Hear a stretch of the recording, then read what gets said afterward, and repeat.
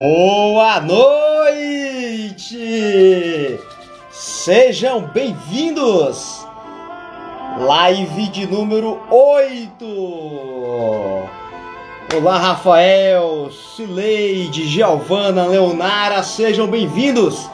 Sabadão, live, oitava live de 14. Estamos aí, gente, caminhando aí, né? Mais ou menos na metade desse, dessa série de 14 lives. Lembrando que dia 14 de novembro a dia 20 nós teremos a sétima semana da física quântica na prática. Serão sete aulas, gente, mais extensas, aulas longas, onde eu vou revelar vários segredos da cocriação. Sejam muito bem-vindos, Solange, bem-vinda, Gracina. Sejam bem-vindos, Jurema, boa noite, Marilene. Opa, não caia não, celular, não caia não, celular. Vamos lá, vamos lá, gente. Muita gente estava me agradecendo porque gostaram dessa forma de lives. Lives rápidas, concisas, direto ao ponto. Você percebe que eu não sou muito de ficar enrolando, não. Eu vou lá e já falo o que tem que ser dito. E estou muito feliz pelo alcance dessas lives. Recebi comentário de tanta gente. Nossa, gratidão por você que comentou. Eu leio todos os comentários. Às vezes eu não consigo responder. De ontem para hoje foram quase 60 comentários, gente. Dire directs, tá? Só direct. Então, às vezes é quase que humanamente impossível responder todos os comentários. Deixa eu fazer um pedido. Compartilha essa live, vai. Hoje eu vou falar sobre o segredo da emoção para elevar a cocriação. Olha só, até rimar rimou, tá? Então, qual é o papel da nossa emoção? O que é emoção? Por que, que a emoção potencializa os processos criativos, os processos da manifestação material? Então faz o seguinte, aqui embaixo tem um aviãozinho, clica no aviãozinho e manda para 10, 20 pessoas, vai lá. Enquanto eu troco aqui a música, manda aí, compartilha. Valeu, Giovana, compartilhando, a galera compartilhando. Que maravilha, sabadão, gente, vamos lá, vamos lá. Sábado também é dia de aprender, hein?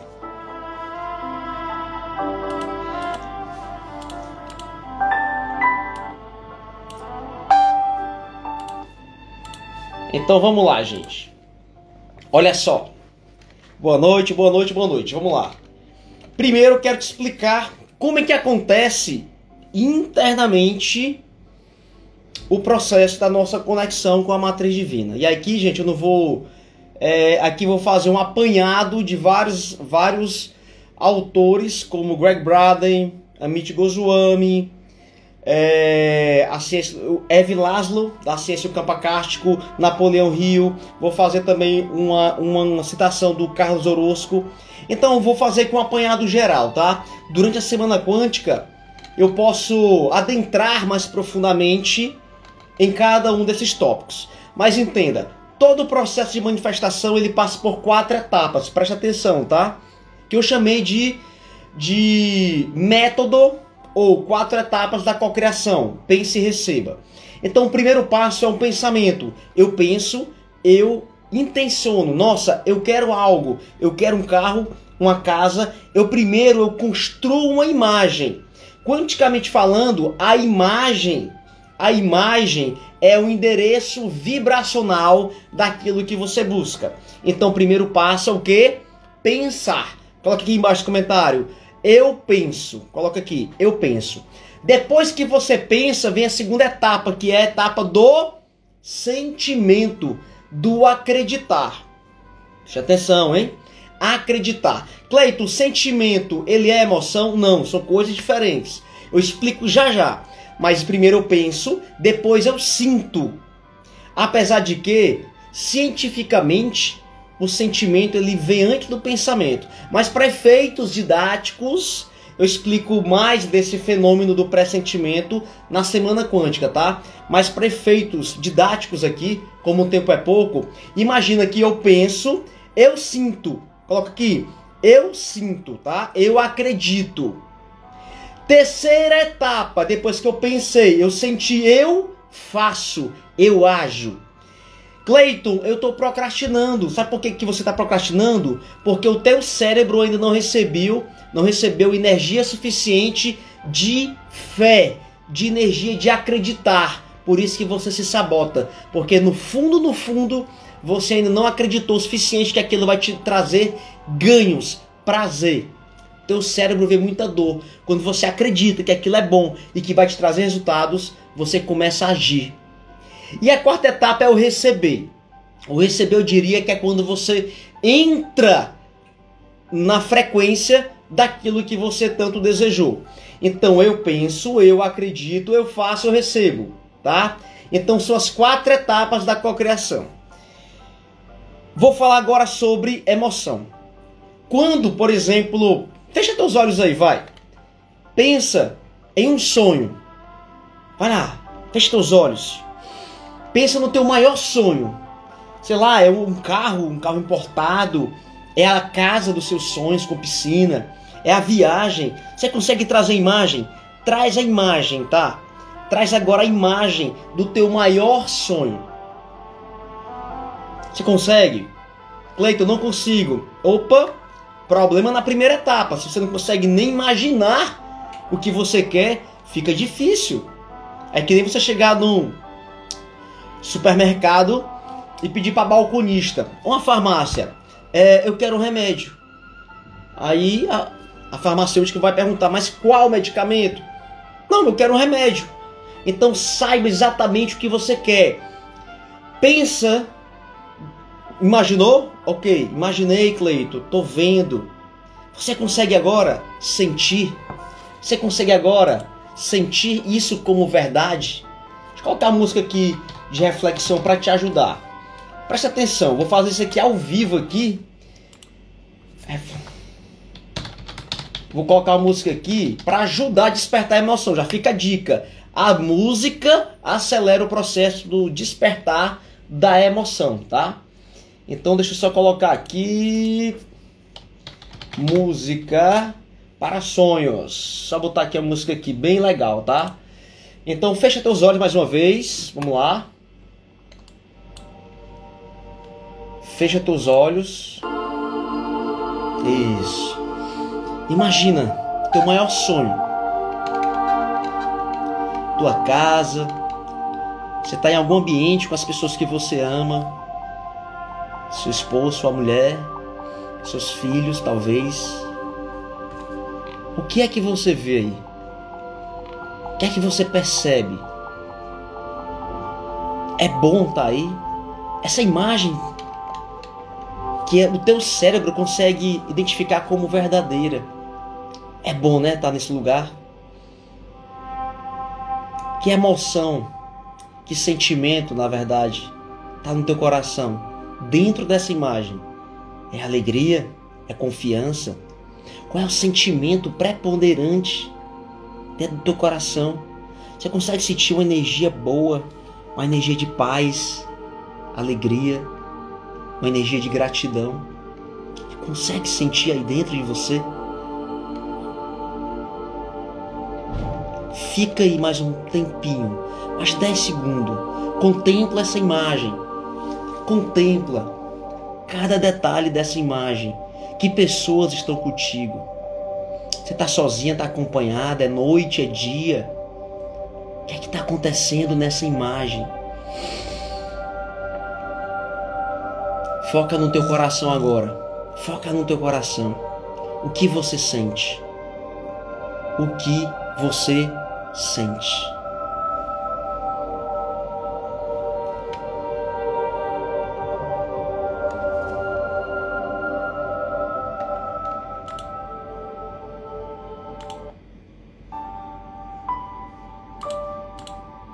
Aí? Foi bom? Foi tranquilo? Abre os olhos, pode abrir os olhos. Terceira pergunta: o que é que você está disposta, disposto a fazer para que isso seja real? Existe, gente, um pré-requisito aqui nesse planeta que você precisa executar o plano que a tua alma já visualizou. Então a mente ela anda na frente do corpo. a minha mente ela acessa primeiro. Ela acessa quanticamente, energeticamente, ela vivencia antes que o corpo experimente. Lembra das três camadas? Espírito, alma e corpo? Então, o que eu fiz agora foi apenas uma palhinha. E segundo alguns experimentos da física quântica, demonstraram que bastam apenas 68 segundos vivenciando aquela realidade para que aquilo seja real. Aquilo já existe. Cleito, como que existe? A sua mente só pode imaginar aquilo que possa ser criado. Sabia disso? Isso é um pré-requisito quântico. Então, quando você primeiro pensou, tem uma fotografia, depois você sentiu. Aí vem, gente, exatamente a emoção. Cleito, que é emoção? Emoção vem do, da palavra do latim emovere, que é energia em movimento. O sentimento ele vem antes da emoção. A emoção, se você quiser até escrever, pode colocar aí. A emoção é a combinação neuroquímica do que me acontece dentro do meu corpo. Impressionantemente, a epigenética, ela já já mostra nos seus estudos que na membrana plasmática das nossas células, dependendo da qual do, dos dos neuropeptídeos, dos neurotransmissores que percorrem na corrente sanguínea, são ativadas anteninhas aqui, ó. Tem as anteninhas na membrana plasmática que conectam o nosso corpo em algo que a ciência não sabe explicar.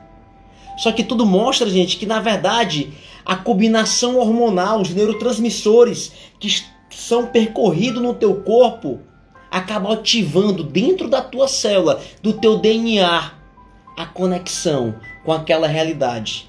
Isso é incrível. Leiam se vocês quiserem, tem algo sobre isso no livro do Bruce Lipton, A Biologia da Crença. Então a emoção o que é que é? É quando eu sinto no meu corpo, eu percebo aquilo como verdade. O teu corpo é um sinal da tua sintonia com o que você busca. Então a emoção é a energia que se movimenta no teu corpo. Existem vários atalhos, artifícios para aumentar essa emoção. Uma delas, eu mostrei agora, é a música. A segunda é a repetição. A terceira são pessoas. A quarta são ambientes. A quinta são resultados. Tudo isso mexe na tua emoção. Sabe por que, que às vezes torna tão difícil você conseguir algo para a tua vida? Sabe por que você talvez está perguntando, Cleito, isso não serve para mim? Isso não funciona para mim, Cleiton. Eu tenho um karma. Eu nasci para sofrer, Cleiton. Parece simples, mas é simples. O ser humano é que complicou demais as coisas. O ser humano, ele complica tudo. E às vezes, quando eu te falo que uma rodada de FT vai te ajudar, o ser humano não acredita. A mente, porque a mente se tornou algo muito complexa. Agora você não tem pensamentos, gera sentimento errado, você acaba atraindo resultados errados porque você faz ações que não era para você fazer e você recebe tem resultados negativos. Os teus resultados geram o que? Uma emoção. A emoção ela retroalimenta o teu pensamento e você tem mais pensamentos negativos, mais sentimentos negativos, faz coisas ou deixa de fazer, se omite e você deixa de caminhar em direção ao teu sonho. Você caminha para o lado errado, ainda na contramão. Resultados negativos geram emoções negativas, emoções negativas fortalece o pensamento. Emoção, lembra? Energia e movimento. O nosso pensamento é o que? Energia. Nossos pensamentos são energias. A emoção errada, ela potencializa o pensamento errado. A emoção certa potencializa o pensamento certo. Escreve aí, vai. A emoção é a chave da cocriação. A emoção é a chave da cocriação. Você precisa se emocionar. A minha esposa tem uma frase que eu não sei se é dela, eu escuto ela falar bastante, a Sâmia, que é a seguinte: finge, finge que tá que fica. Então, ora, Cleiton, eu não acredito, Cleiton. Eu tô devendo. Tem agiotas batendo na minha porta, Cleiton. Eu nem durmo preocupado com minhas contas. Tô com quatro cartões, é estourado. Como é que tu quer que eu me emocione? Como se fosse a pessoa próspera. Finge, finge que tá que fica. Finge, finge que tá que fica. Não sei, fala, grita, coloca uma música. Esteja perto de pessoas prósperas. Vai em lugares prósperos. Vai em restaurantes prósperos. Nem que seja para tomar uma água. Mas chega lá, sinta. O sentimento vai gerar a emoção certa. E a emoção vai te colocar em ação. E a emoção certa vai gerar pensamentos certos. Que gera mais sentimentos certos. Que te coloca em ação direcionada. Que você acaba tendo resultados compatíveis com aquilo que você sente. durante séculos, diria até décadas, o ser humano ele foi ensinado a apenas pensar para receber. Observa, por exemplo, o sistema de ensino vigente. Dá um coraçãozinho aqui, vai gente, coraçãozinho, coraçãozinho, coraçãozinho, o Instagram mostrar essa live para mais e mais pessoas. Não seja uma pessoa egoísta, vai lá. Nosso sistema de ensino atual, como é que ele funciona? decore, decore, decore, decore. Acaba fazendo os alunos como se fossem computadores com HD gigantes, precisa decorar e quem decora mais vai passar no vestibular, vai passar no ENEM. Ou seja, nós sempre nós fomos estimulados a usar o pensamento apenas para decorar, mas nunca nos ensinaram a sentir.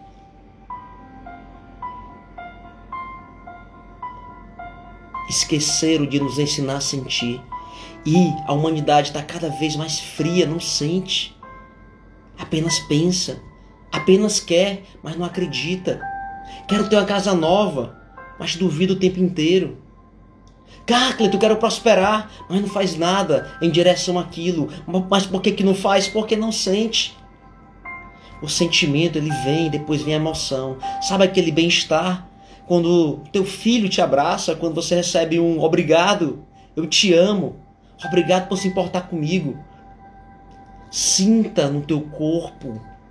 E eu, eu falo para você, estamos aqui, gente, todo ser humano, por mais que ele esteja na busca frenética por mais, por mais matéria, matéria, matéria, o ser humano em sua essência, ele busca uma única coisa, que é ser amado e amar. O ser humano, ele quer apenas um conforto, ele quer ser amado, ele quer sentir alegria. Só que ele perdeu a referência da alegria, ele perdeu a referência do amor lá atrás. E quantas pessoas ficam buscando em relacionamentos tóxicos, abusivos, esse amor? É algo inerente da mente humana, gente. Não tem como eu falar em física quântica de forma racional, sem te falar exatamente sobre a tua alma sobre a tua essência? Será que você até hoje está aí meio que vazio, deprimido, porque talvez você está negando a tua essência, que é ser um ser amoroso, pedir ajuda quando você quiser, você puder e precisar, se tornar uma pessoa vulnerável. E aí quando você começa a trabalhar a ser você, ser uma pessoa autêntica, vulnerável, a de fato falar para as pessoas que você ama, que você de fato ama, em palavras, em ações e não só em pensamento. Quando você começar a comunicar diferente, você começa a se conectar exatamente com as frequências mais elevadas da cocriação, amor, alegria, prosperidade. E aí eu vejo, infelizmente, muitas pessoas que ainda têm a mentalidade cartesiana. Cleiton, minha empresa não dá certo, Cleiton. Minha empresa não está prosperando, Cleiton. Meu, é, sei lá, só aparece contas, só aparece problemas. Olha para a tua vida, olha para o teu casamento, olha para a tua casa, olha para a relação com os teus filhos, olha para a tua conexão espiritual. Tá tudo conectado, amigo. Talvez a tua empresa, o resultado da tua empresa dependa exatamente da relação de amor que você tem dentro da tua casa. Do quanto você tem talvez doado o teu tempo para aquelas pessoas que precisam de você. É todo, gente, uma unificação. Nada está separado. Nada está separado. Existe uma unificação onde o meu casamento, a minha conexão espiritual, o meu financeiro, a minha vida profissional, a minha saúde, tudo, todos os pilares interconectam. E quando eu trabalho exatamente o principal, o fundamental, que é o bem-estar comigo mesmo, eu tenho que estar bem comigo, depois com os outros. As coisas começam a dar certo. O que é que você tem feito para ter boas emoções? O que é que você tem feito para ter boas emoções? Eu tenho visto pessoas que são muito duras consigo mesmo, muito duras. Pessoas que eu ouvi esses dias, uma pessoa falando, né? Ah, eu não toco em bebida alcoólica. Gente, eu sou contra, lógico, o cara exagerado na, exagerado na bebida alcoólica, mas às vezes uma taça de vinho com a sua esposa, com o seu esposo, cria um ambiente favorável, que você troca ideias, que você fala, é, enfim, é um momento de lazer. Ou então um suco, por que não? Um café. E eu vejo pessoas sacrificando tanto para dizer: eu nunca tomei nada, eu nunca fiz isso. Só que você, gente, está tirando, digamos, o bem-estar, talvez até de outras pessoas. Seja você, amigo. Seja você. Saiba pedir perdão na hora certa, saiba pedir ajuda. Quando você limpa a tua casa, limpa o teu ser, você vai poder se emocionar, se conectar com a emoção que você tanto deseja. A emoção é um subproduto do cérebro humano, sabia? Então você pode até acordar para baixo, tudo bem. Teve uma noite mal de sono, mas a decisão é tua de continuar daquele jeito ou levantar e de frente pro espelho fazer uma rotina matinal, colocar uma boa música, sair na rua falar para cinco pessoas bom dia, ter um dia extraordinário, eu amo você filho, filho eu te amo, adoro ser seu pai, eu amo ser sua mãe. Eu amo ser seu pai, filha. Quantas vezes você já disse para os teus filhos, filha, eu amo ser seu pai, eu amo ser sua mãe. Você já falou isso pro seu filho? Isso muda todo o jogo. Olha no teu coração o que, que acontece. Depois da live, faz isso. Eu falo sempre para as minhas filhas: Filha, vem cá, papai quer te, quer te falar uma coisa. Elas, elas estão lá em cima, às vezes eu chamo elas só para eu falar para elas: Filha, eu só quero te lembrar que eu amo ser teu pai. Gente, isso muda todo o jogo. Elas nunca vão esquecer disso. E aqui dentro muda a minha vibração. Porque eu passei a comunicar amor. Como eu passei a comunicar amor, meu cérebro começa a descarregar uma química, ocitocina, serotonina, dopamina. Eu me sinto bem. O que eu sentir bem é quando a minha vibração está elevada. Às vezes as pessoas me perguntam, Cleito, como eu saber se eu estou vibrando alto ou baixo? Olha para o teu sentimento. Tá bem? Tá em paz? Tá feliz? Tá alegre? Ok, tua vibração está conectada com a do Criador.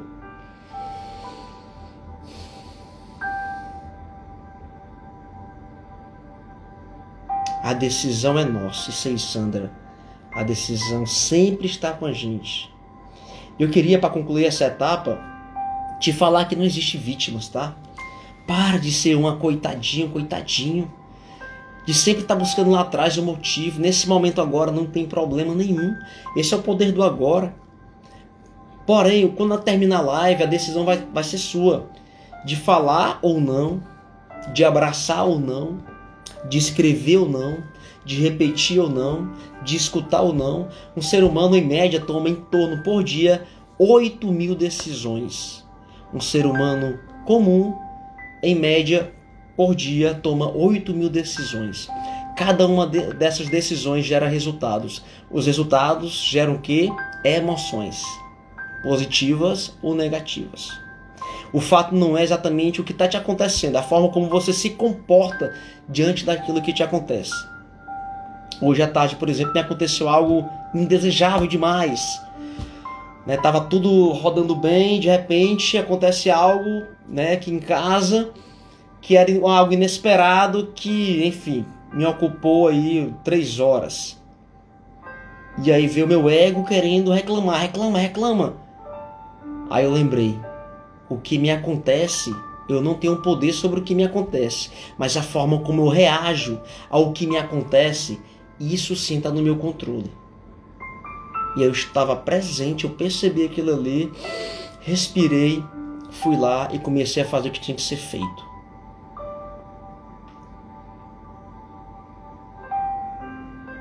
Eu me importo com você. Coloca aqui, gente, hashtag eu me importo com você. E você? Que são as pessoas que mais você tem se importado. Tua família, teus filhos. Tarefa de casa hoje, tá? Terminou a live, você quer mãe ou pai. Vai chegar para seus filhos, manda uma mensagem, nem que seja uma mensagem, e fala assim: pai, filhos, filho, eu amo ser seu pai. Filha, eu amo ser sua mãe. Ok?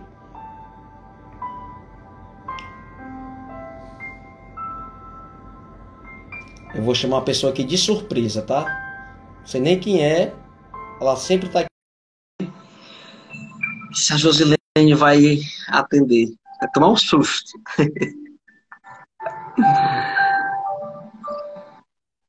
Coloca na tua agenda. Dias 14 a 20 de novembro. Sétima semana da Física Quântica na Prática. Sete aulas, sete lives Olha aí, ela tentou, hein? Olha só, estou aqui emocionada. Oh, e aí? Josi, e aí, algo que podia ter lá e te chamasse. Tudo bem, amigo? Tudo bem, meu, mas deixa eu arrumar um local aqui para colocar meu telefone. Você fala da onde enquanto você apoia o teu celular? Eu falo do Rio de Janeiro.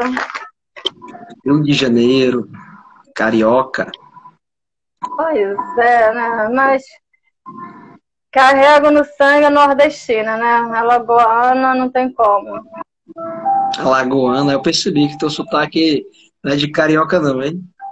Há 21 anos no Rio, mas o sotaque não muda, né? Eu quero que não mude. Adoro esse sotaque nordestino. É legal, bacana. Josi, se tivesse um sentimento que tem te atrapalhado no, nos últimos tempos, nos últimos dias? Que sentimento é isso?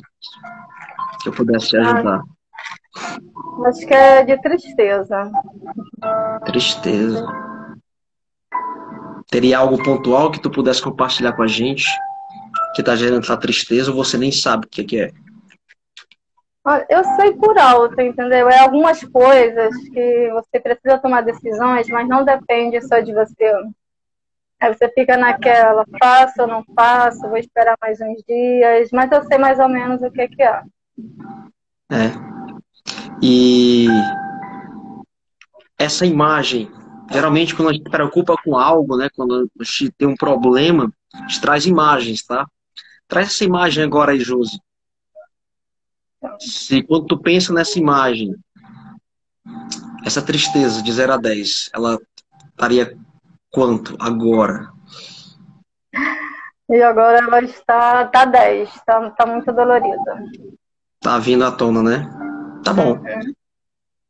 Então, Tava vamos fazer pouco tempo pensando nisso, até deu uma tristeza que eu falei, gente, tô aprendendo tanta coisa, mas tem uma hora que você dá uma caída, né? Pois eu tô olhando aqui para ti, tá? Eu vou usar minha intuição, a gente vai fazer uma rodada, não precisa entrar em detalhes, tá? E uhum. o pessoal que está ao vivo aqui, gente, ó, sigam, tá? A rodada. Pensa em um problema. Ah, Cleiton, eu tô com raiva, tô com angústia. Faz a rodada junto com a Josi, que tenho certeza que você também vai se beneficiar. Isso, inclusive, é uma das subtécnicas da FT chamado Pegando Benefício Emprestado. Tá bom?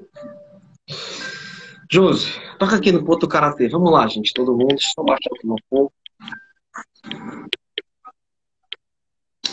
Repete comigo. Mesmo que eu sinta uma tristeza. Mesmo que eu sinta uma tristeza. No meu coração. No meu coração.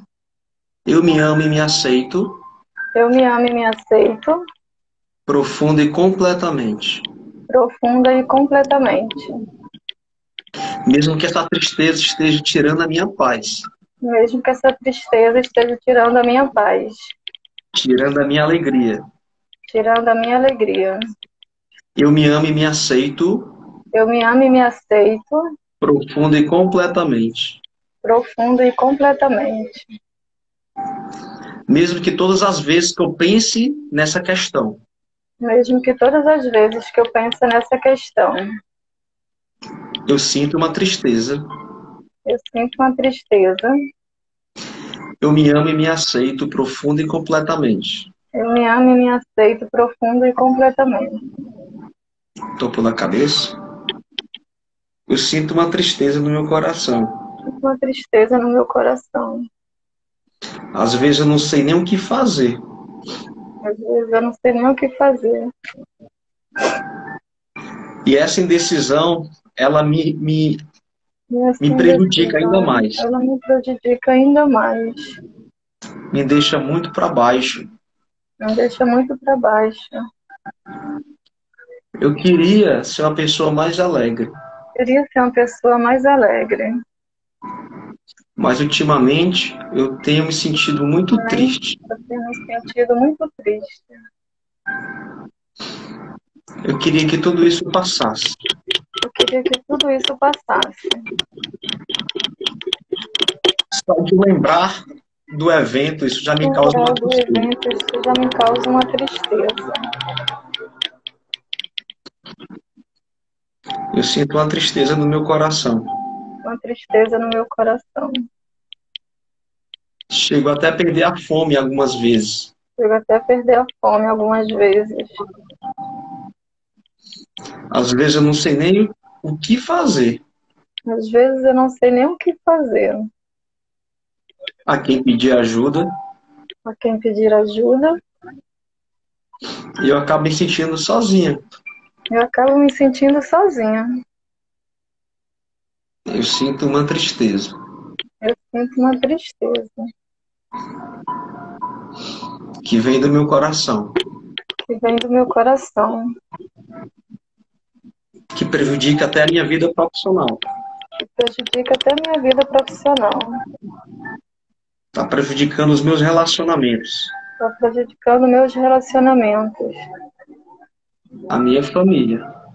A minha família. Para um pouquinho, Josi, respira.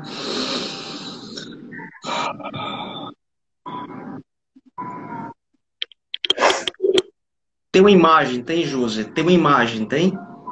Uma imagem Uhum. associada? Tá. Foca nessa imagem. Olha para o sentimento de tristeza agora, de 0 a 10. Dá uma, uma nota para a gente continuar aqui. Olha, deu uma caída. Posso falar um sete.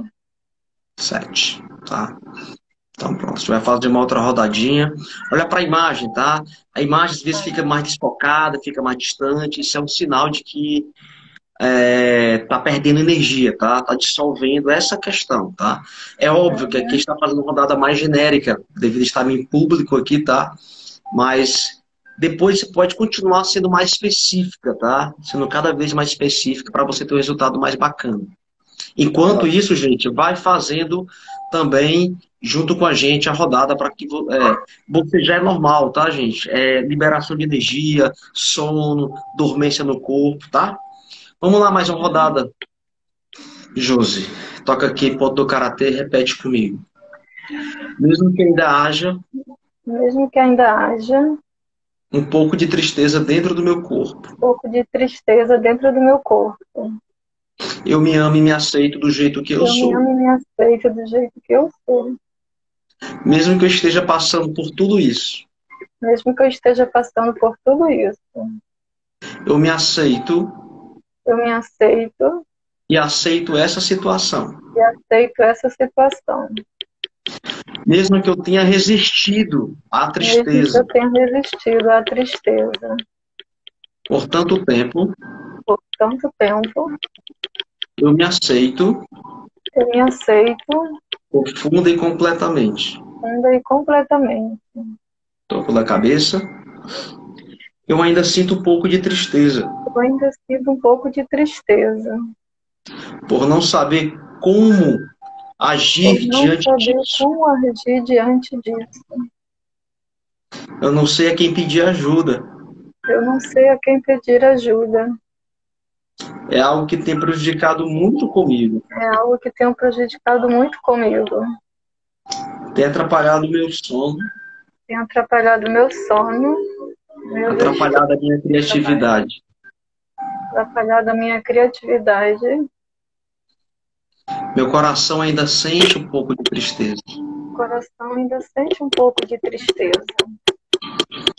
Eu sinto um peso nas minhas costas. Eu sinto um peso nas minhas costas. devido à responsabilidade dessa decisão. A responsabilidade dessa decisão. Muitas vezes eu fico paralisada. Às vezes eu fico paralisada. Por não saber o que fazer. Por não saber o que fazer. Tenho medo de tomar a decisão errada. Tenho medo de tomar a decisão errada. Por isso eu sinto uma tristeza. Por isso eu sinto uma tristeza. Eu ainda sinto um pouco de tristeza. Eu ainda sinto um pouco de tristeza. Eu decido a partir de hoje. Eu decido a partir de hoje. Visualizar novas possibilidades. Visualizar novas possibilidades. Visualizar novos caminhos. Visualizar novos caminhos. Visualizar novas ideias. Visualizar novas ideias. Eu me abro. Eu me abro. Para o amor. Para o amor. Eu me abro para a alegria. Eu me abro para a alegria. Eu me abro para a aceitação. Eu me abro para a aceitação.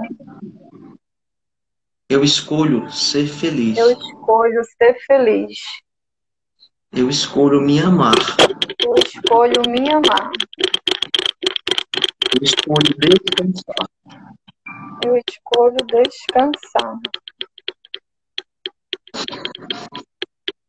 Para um pouquinho, respira. Como é que tá o coração, querida? Ai, tá calmo. Acalmou, para vista que estava, estava até tremendo assim de um nervoso, uma tristeza, eu não sei o que.